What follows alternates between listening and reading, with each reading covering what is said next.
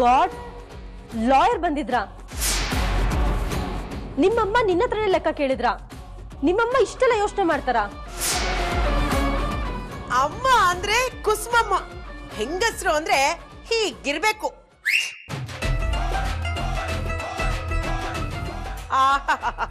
ನಿನ್ನ ಚರ್ಬಿ ಇಳಿಸಕ್ಕೆ ಅವ್ರೇ ಸರಿ. ಕುಸುಮಮ್ಮಂಗೆ ಜೈ, ಅಮ್ಮನ್ಗೆ ಜೈ ಅಮ್ಮನ್ಗೆ ಜೈ. ನೀನು ಮಾಡಿರೋ ಕೆಲ್ಸಕ್ಕೆ ನಿಮ್ಮ ಅಮ್ಮ ಮಾಡಿರೋದು ಸರಿಯಾಗೇ ಇದೆ. ನನ್ನ ನೋಟು ನಿಮ್ಮಮ್ಮನ್ಗೆ. ನೀನೇ ಇಷ್ಟು ಛತ್ರಿ ಕಿಲಾಡಿ ಆಟ ಆಡಬೇಕಾದ್ರೆ ಇನ್ ನಿಮ್ಮಮ್ಮ ನಿನ್ನ ಪ್ರಿಂಟ್ ಮಾಡಿರೋ ಮಷೀನು ಅವ್ರ ಇನ್ನೆಷ್ಟು ಜೋರಿರ್ಬೇಡ, ಆ?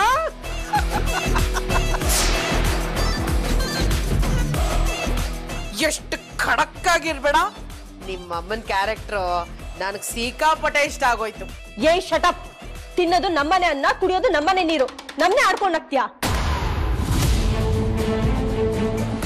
ಎಷ್ಟಿರ್ಬೇಡ ನಿನ್ಗೆ. ಸುಮ್ನೆ ಶ್ರೇಷ್ಠ ಈ ಪೀಡೆ ಹತ್ರ ಏನ್ ಮಾತು?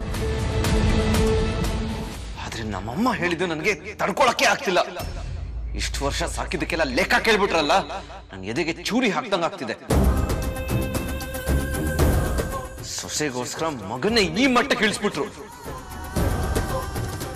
ಅವಳ ಮುಂದೆ ನನ್ ಮಾನ ಕಳಿತಿದ್ದಾರೆ. ಎಲ್ಲ ಆಗ್ತಿರೋದು ಅವಳಿಂದಾನೆ.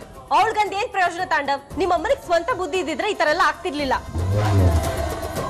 ನಿಮ್ಮಮ್ಮಂದ್ ಯಾವಾಗ್ಲೂ ಒಣ ಶೋಕಿ, ಒಣ ಜಂಬ ದುರಂಕಾರ ಅಲ್ಲ, ಆ ಬಾಗಿನ ಮಾತು ಕೇಳ್ದಿರೋ ಅಷ್ಟು ಮೆದ್ಲಿಲ್ವಾ ನಿಮ್ಮಮ್ಮಂಗೆ? ದುಡಿಯೋ ಮಗಂಗೆ ಅವಮಾನ ಮಾಡಬಾರ್ದು ಅಂತ ಗೊತ್ತಿಲ್ವಾ ನಿಮ್ಮಮ್ಮನ್ಗೆ? ಸುಮ್ನೆ ನಾಟಕ ಮಾಡ್ತಾರಷ್ಟೇ. ಇವತ್ತು ಅಷ್ಟೇ ತಾಂಡವ್ ನಿನ್ನ ಹತ್ರ ದುಡ್ಡು ಕೀಳೋಕೆ ನಾಟಕ ಮಾಡಿರ್ತಾರಷ್ಟೇ. ಅತ್ತೆ ನೀವು ಸ್ವಲ್ಪ ಹೊತ್ತು ಹೋಗಿ ಮಲ್ಕೊಳ್ಳಿ ಅತ್ತೆ ಸುಧಾರಿಸ್ಕೊಳ್ಳಿ. ಭಾಗ್ಯ ಏನಾಯ್ತೆ? ಬೀಗ್ತಿ ಅಮ್ಮ ಯಾಕೆ ಹೇಗಿದ್ದಾರೆ ಅಲ್ಲ ಅವ್ನು ಏನ್ ಹೇಳ್ದ ಅಂತ? ಮನೆಗ್ ಬರ್ತೀನಿ ಅನ್ನ? ನೀವೇನ್ ಮಾತಾಡಕ್ ಹೋಗಿದ್ರಿ ಅಲ್ಲಿಗೆ? ಅಮ್ಮ ಈ ವಿಷಯದ ಬಗ್ಗೆ ಎಲ್ಲ ಆಮೇಲೆ ಮಾತಾಡೋಣ. ಅತ್ತೇನು ಸ್ವಲ್ಪ ಹೊತ್ತು ಬಿಟ್ಬಿಡು. ಅವ್ರು ಮೊದಲೇ ಯಾವುದಕ್ಕೂ ತ್ರಾಣ ಇಲ್ದಂಗಾಗಿದ್ದಾರೆ.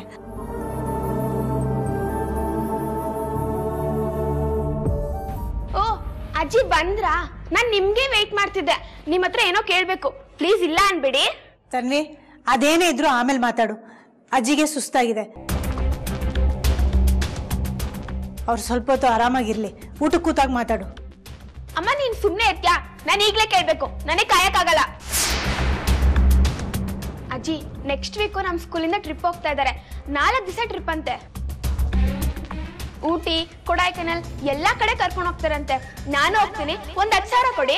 ತನ್ನಿ ಸುಮ್ಮಿರೋ ಅಂದಲ್ಲ ಹೋಗು ಕೊಡಿ ಹೋಗು. ನಾನು ಅಜ್ಜಿ ಹತ್ರ ತಾನೇ ಮಾತಾಡ್ತಿರೋದು. ನಿಂದೇನ್ ಮದ್ಯ ಅಜ್ಜಿ ಜಸ್ಟ್ ಹತ್ತು ಸಾವಿರ ಅಷ್ಟೇ ಅಜ್ಜಿ.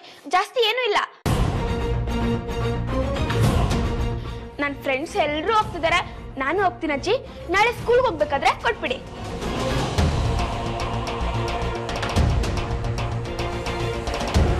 ತನ್ವಿ ಈಗ ನಮ್ಮ ಹತ್ರ ದುಡ್ಡಿಲ್ಲ. ನೀನ್ ಮುಂದಿನ ವರ್ಷ ಟ್ರಿಪ್ ಹೋಗುವಂತೆ. ಈಗ ಬೇಡ. ಅಮ್ಮ ನೀನ್ ಏನೇನೋ ಹೇಳ್ಬೇಡ. ಎಲ್ರು ಹೋಗ್ತಿದ್ದಾರೆ ನಾನು ಹೋಗ್ತೀನಿ. ಆಗಲ್ಲ ಅಂತ ಹೇಳಿದ್ರೆ ಅರ್ಥ ಮಾಡ್ಕೋಬೇಕು. ಪ್ರತಿ ವರ್ಷ ಹೋಗ್ತೀಯ ತಾನೆ? ಇದೊಂದು ವರ್ಷ ಹೋಗ್ಲಿಲ್ಲ ಅಂದ್ರೆ ಏನೂ ಆಗೋದಿಲ್ಲ. ಸುಮ್ನಿರು. ಜಸ್ಟ್ ಹತ್ತು ಸಾವಿರ ಕೇಳಿದ್ರೆ ಯಾಕೆ ಹಿಂಗ್ ಆಡ್ತಿದ್ಯಾ? ಅದು ಕೂಡ ಕೊಡಕ್ಕಾಗಲ್ವಾ? ನಾನು ಎಲ್ಗೂ ಹೋಗ್ಬಾರ್ದಂತನಾ? ತನ್ವಿ ಮನೇಲಿ ಏನ್ ನಡೀತಾ ಇದೆ ಏನ್ ನಡೀತಾ ಇಲ್ಲ ಅನ್ನೋದು ಅರ್ಥ ಆಗ್ತಿದೆ ತಾನೇ ನಿನ್ಗೆ? ಅರ್ಥ ಆಗದಿರೋ ವಯಸ್ಸೇನಲ್ಲ ನಿಂದು?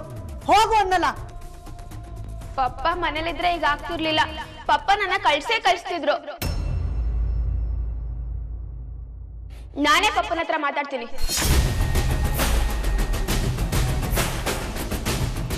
ಮುಚ್ಚೆ ಬಾಯಿ. ಪಪ್ಪ ಅಂತೆ ಪಪ್ಪ. ಇನ್ನೊಂದ್ಸಲ ಪಪ್ಪ ಅಂದ್ರೆ ಬಿಡ್ತೀನಿ ನೋಡ್ ನಾಲ್ಕು. ಸುಮ್ನೆ ಹೋಗಿ ನಿನ್ ರೂಮ್ಗೆ ಹತ್ ಸಾವಿರದ ಬೆಲೆ ಗೊತ್ತಿಲ್ಲ. ಬಾಯಿ ಬಂದಂಗ್ ಮಾತಾಡ್ತಾಳೆ. ಟ್ರಿಪ್ ಇಲ್ಲ, ಮತ್ತೊಂದು ಇಲ್ಲ. ಸುಮ್ನೆ ನಡಿ ರೂಮ್ಗೆ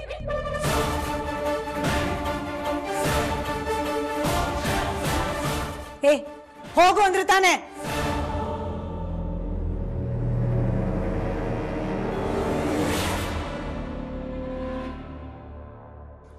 ಅಂತೆ ಪಪ್ಪ ಮಕ್ಕಳನ್ನೇ ಮರ್ತು ಬಿಟ್ಟಿದ್ದಾನೆ ಆ ನಿಮ್ ಪಪ್ಪ ಯಾವ ಪಪ್ಪನೂ ಇಲ್ಲ ಏನೂ ಇಲ್ಲ.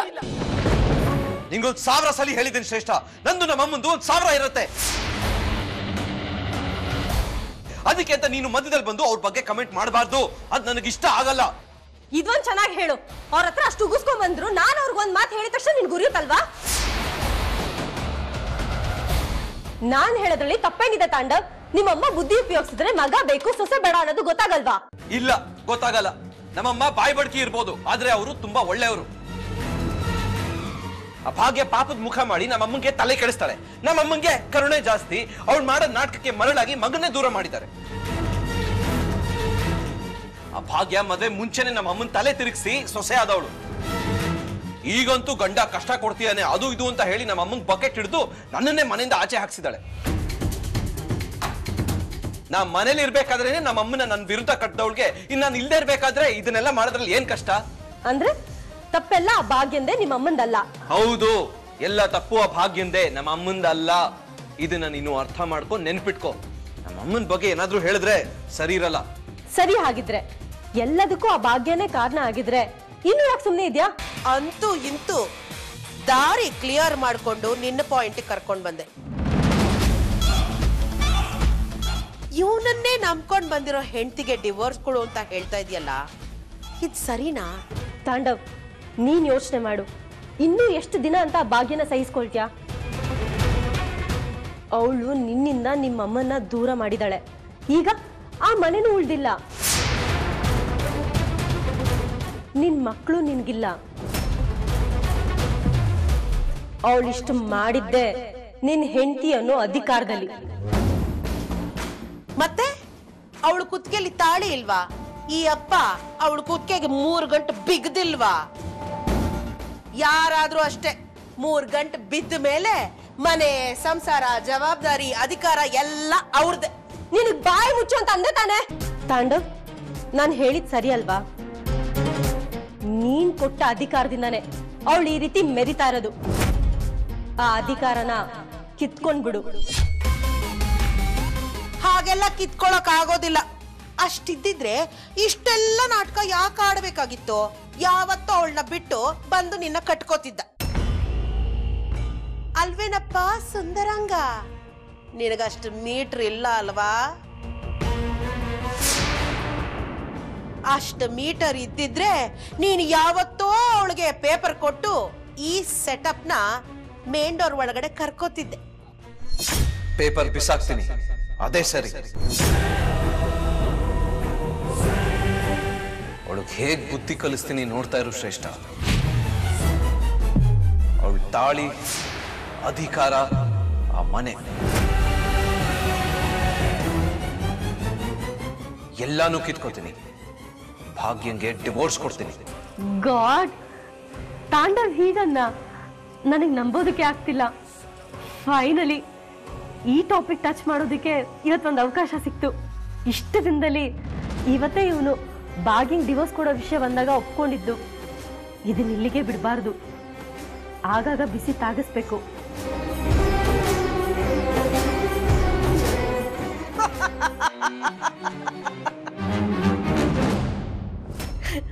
ಏನಮ್ಮ ಚಿಣಿಮಿಣಿ?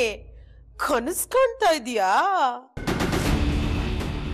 ಅವನು ಅವನ ಹೆಂಡತಿನ ಬಿಟ್ಟು ನಿನ್ ಹತ್ರ ಬರ್ತಾನೆ ಅಂತ ಖುಷಿ ಪಡ್ತಾ ಇದೀಯಾ? ಅದನ್ನ ನೀನ್ ನಂಬಿಟ್ಯಾ? ನಂಬ್ಕೋಬೇಡ ಅಂದ್ರೆ ನಾನು ಅವನು ಮದ್ವೆ ಆಗ್ತಿದೀವಿ. ಮದ್ವೆ ಆಗ್ತಿದೀವಿ ಅಂದ್ರೆ ಅವನು ಆ ಬಾಗಿನ್ ಬಿಡ್ಲೇಬೇಕು.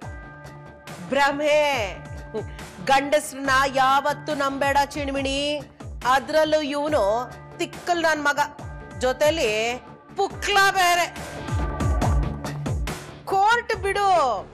ಅವ್ರಮ್ಮ ಏನಾದ್ರೂ ಎದುರುಗಡೆ ಬಂದು ಕಟ್ಕಟೆಯಲ್ಲಿ ನಿಂತ್ಕೊಂಡ್ರೆ ಹೆದ್ರಿ ಸಾಯ್ತಾನವನು ಅಂಥವನು ಹೆಂಡತಿಗೆ ಸೋಡಾ ಚೀಟಿ ಕೊಡ್ತಾನೆ ಅನ್ಕೊಂಡ್ಯಾ?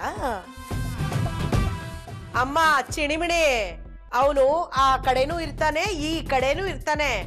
ಇವತ್ತು ಅವಳಿಂದ ಅವನಿಗೆ ನೋವಾಗಿದೆ. ಅದಕ್ಕೆ ಅವಳ ಹತ್ರ ಎಲ್ಲ ಕಿತ್ಕೋತೀನಿ ಅಂತ ಹೇಳ್ತಿದ್ದಾನೆ. ಅಷ್ಟೇ. ನಾಳೆ ನಿನ್ನಿಂದ ನೋವಾದ್ರೆ ಅವನು ಮೊದಲು ಓಡ್ ಹೋಗೋದು ಅವನ ಹೆಂಡತಿ ಹಿಂದೆನೆ. ಅವನು ಒಂಥರ ಓದಿಕೇತ ಇದ್ದಂಗೆ. ನೀನು ಅವನ ಜೊತೆಗೆ ಪಾತ್ರಗಿತ್ತಿ.